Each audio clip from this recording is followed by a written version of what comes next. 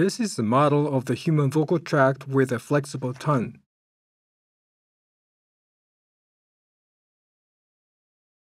With this model, there are teeth here, and you can see the tongue tip here.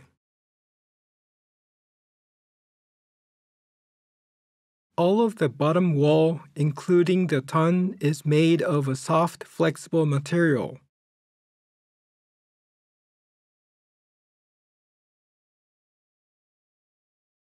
There is a hole at the glottis end, and the sound source is fed into this hole. This is a whistle type artificial larynx. First, I will produce sound with this artificial larynx by itself.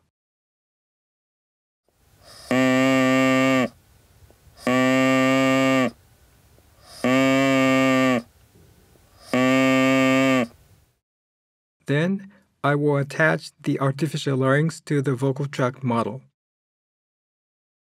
When I produce sounds, you will hear the neutral vowel or the schwa first.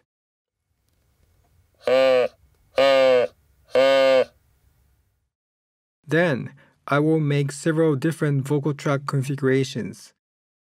If I push the lower part back, the pharyngeal cavity becomes narrow.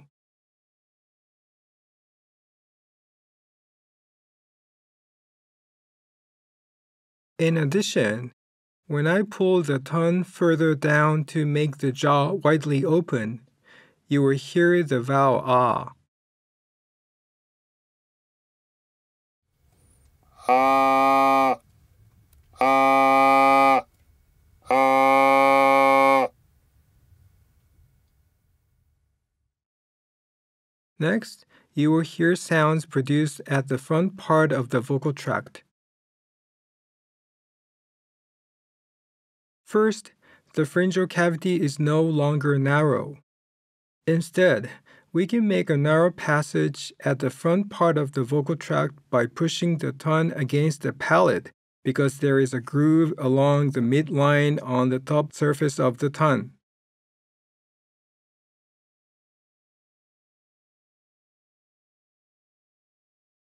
By doing this, we can produce the vowel E.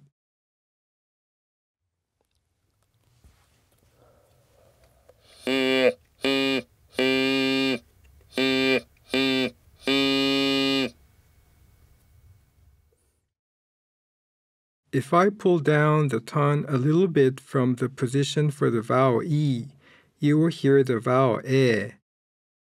I will push up and pull down the tongue several times.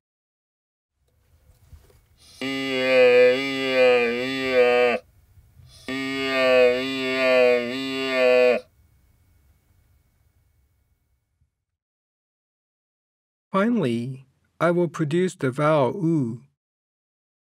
Let me produce the vowel oo by making a narrow part in the middle of the vocal tract bent at the right angle.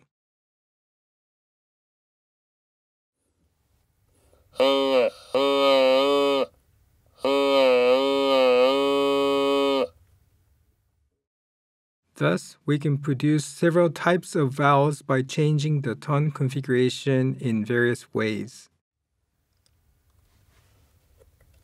I